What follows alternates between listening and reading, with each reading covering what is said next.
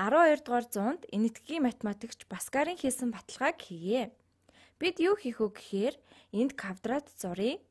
За энд квадрат зуръя. Өнцгийг нь баг зэргийн налуу зурцгаая. Яагаад гэхээр энэ нь илүү хэлбэр байна. Квадратыг хамгийн сайнаараа л зурхыг хичээе.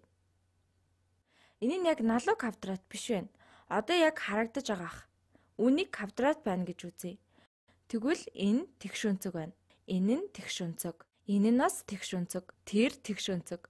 Бүх талын урт тэнцүү байна гэж үзье. Тэгэхээр эдгээрийн уртыг цэгээр тэмдэглэе. Үүнийг шар өнгөөр хий. За квадрат учир бүх талын урт нь c. Одоо квадратын дотор дөрвөн гурвалжин байгуулцгаая. Үүнээс доош зуръя. Үүнийг дайруулан зурвал x доош зурхад гурвалжин үсэж байна. x доошоо шулуун зуръя. За эндээс хөндлөн зурвал за үүнийг дайруулан зуръя. Үүнийг дариулан зурхад энд тэгш өнцөг үүсгэж байна. Квадратын энэ оройгоос x дээш нь шулуун зуръя. Энэ x дээшээ харин энэ хөндлөн энд мөн тэгш өнцөг үүсгэж байна. Энэ оройгоос хөндлөнгөө шулуун зуръя. Тэгэхээр энд тэгш өнцөг үүснэ гэдгийг бид мэдж байгаа. Тэгвэл энэ нь мөн тэгш өнцөг болно. За тэгэхээр эндээс харуул квадрат дотор дөрвөн тэгш өнцөгт гурвалжин байгуулсан байна. Эдгээрийн хооронд байгаа энэ магадгүй тэгш өнцөгт эсвэл квадрат юм. Энэ нь квадрат гэдгийг хараахан батлаагүй байгаа. Одоо юуг тооцоолох уу гэхээр эдгээр гурвалжин тэнцүү хэсгийг шалгая. Тэгэхээр тэдний геофтнозууд нь бүгдээрээ ижил урттай нь илэрхий байгаа. 49 дугаар мөрнөөс дахиад явлаа.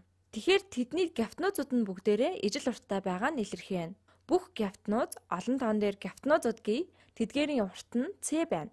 Тэгш өнцгийн эсрэг орших талын урт нь c байна. Тэгэхээр одоо харгалзах өнцгүүд нь адилгээд харуулчихвал эдгээр нь хоорондоо тэнцүү нь илэрхий болно. Хэрвээ бүх өнцөг нь адилхан бол харгалзах талууд нь тэнцүү байна. Тэгэхээр гурвалжингууд нь тэнцүү. Бид энэ гурвалжны энэ өнцгийг төтөө гэвэл энэ өнцөг нь 90-ээс хасах нь төтөө. Учир нь эдгээрийн нийлбэр 90 градус юм. Өөрөөр хэлбэл тэдгээр нь нийлж энэ квадратын нэг тэгш өнцгийг үүсгэж байгаа. Энэ нь 90-ээс хасах нь төтөө. Энэ өнцөг ба энэ өнцгийн нийлбэр нь 90 байна.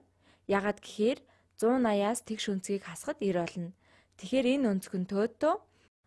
Энэ нь 90-ээс хасах нь төөтөө учраас энд төөтөө. За одоо цаашаа юу болохыг та харж байгаах. Хэрвээ энд 90-ээс хасах нь төөтөө бол энд төөтөө болно. Энэ нь төөтөө бол энд 90-ээс хасах нь төөтөө. Одоо харвал эдгээр дөрвөн гурвалжны гурван өнцөг нь төөтөө 90-ээс хасах нь төөтөө 90 байна. Эдгээрийн өнцгүүд нь ижил байна. Эдгээр нь хамгийн багадаа төсөөтэй ба гефтнууз нь ижил байна. Эндээс эдгээр дөрвөн гурвалжин хоорондоо тэнцүү гэдг нь илэрхий боллоо. Одоо юу хийх вэ гэхээр эдгээр гурвалжны урт талыг авч үзээд тэдгээрийн уртыг B гэе. Тэгэхээр эдгээр гурвалжны урт талыг авч үзье. Энэ уртыг B гэж тэмдэглэе. Одоо богино зайг авч үзье. Тэгэхээр энэ зай, энэ зай, энэ зай эдгээр бүх зайн уртыг А усгээр тэмдэглэе. За үүнийг өндөр гэвэл өндрийн урт нь А болно. Одоо хийх зүйл сонирхолтой байна. Эхлээд квадратын талбайг олъё. С талтай квадратын хувьд талбай нь хэд вэ? Энэ илэрхий байна. Энэ нь С талтай квадрат байна. Тиймээс талбай нь С-ийн квадраттай тэнцүү. Одоо эдгээр хоёр гурвалжныг авч үзье. Талбайг олоход дүрсийн бусад хэмжигдэхүүн нь а ба б. Энд Пифагорын теорем хэрэглэе. Энд бидний эхлэлийн зэг байхгүй байна. Эхлэлийн зэг бол маш сонирхолтой байгаа. Үүнийг бүхэлд нь хуулаад тавья. Тэгэхээр үүнийг хөдөлгөх хэрэггүй. За хуулж тавья. За хуулаад тавилаа. Энэ бол бидний их зураг. Одоо юу хийх вэ гэхээр үүнийг арилгая. За арилгалаа. Одоо шилжилт хий. За энэ их сонирхолтой шүү. Энд байгаа гурвалжныг үүнийг энэ доор шилжүүлье. Хуулах гэд оролдоод үзье. За энэ хэсгийг тэмдэглэе. За энэ жоох хэцүү юм байна. Үүнээс баг хэсгийг нь авч үлдээд хуулъя. Хуулаад энд тавья. Тэгэхээр энэ гурвалжинг энд тавья. Харагдахгүй байгаа шулууныг зуръя. Энд арилсан байна. За шулуунаа зуръя. Энд бас байна. Энэ ихц босоо байсан. Тал тал нь харгалзаж байгаа. Одоо энэ хэсгийг зөөж доор байрлуулъя. Тэгэхээр үүнийг доош нь зөөе. Энэ дээр байрлах тэгш өнцөгт гурвалжныг зүүн доод хэсэгт зөөнө. Үүний талбай нийжил тэгэхээр үүнийг бүхэлд нь авах гэж оролдъё. За эхлээд хуулаад дараа нь энд буулгая. За энд байрлуулъя. Үүнийг зөөхтөө суурийг нь оруулааг байна. Тэгэхээр суурийг нь зуръя. Энэ гурвалжин нь үүнийг тэмдэглэе энд байна.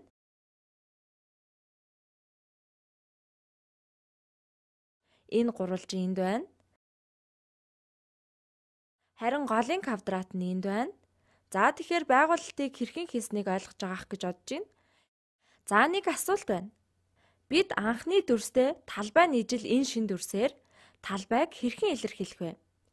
За энд би хэсгүүдийг ойр тойронд нь зөөсөн эдгээрийг А ба Б хэмжигдэхүүнээр хэрхэн илэрхийлэх вэ? Энд гол зүйл нь энэ суурийн уртыг хэрхэн олох вэ гэдэг юм. Энэ суурийн талын урт хэдвэ? Үүний урт нь Б харин үүний урт нь А. Тэгэхээр суурийн урт нь бүхэлдээ А нэмэх нь Б. Энэ нь сонирхолтой байна. За энд нэг зүйл байна. Үүний урт нь үүний урттай адил байх учраас А байна. Одоо А талтай квадрат байгуулж чадна. Энэ квадрат нь АА талтай учраас талбай нь А-гийн квадрат. Үүнийг өөр өнгөөр тэмдэглэе. Тэгэхээр талбай нь А-гийн квадрат. Зүүн талд ямар талбайтай дүрс үлдсэн бэ? Энэ тал нь А, энэ тал нь А, суур нь А нэмэх нь Б урттай. Суур нь А нэмэх нь Б урттай гэдгээс зүүн талд юу үлдэх вэ гэхээр А-г хасгаар Б үлдэнэ. Энэ нь А нэмэх нь Б бол энэ нь А. Харин энэ нь Б болж байна. Тэгэхээр шинэ үүссэн дүрсийн шинэ дүрсийг тодруулбал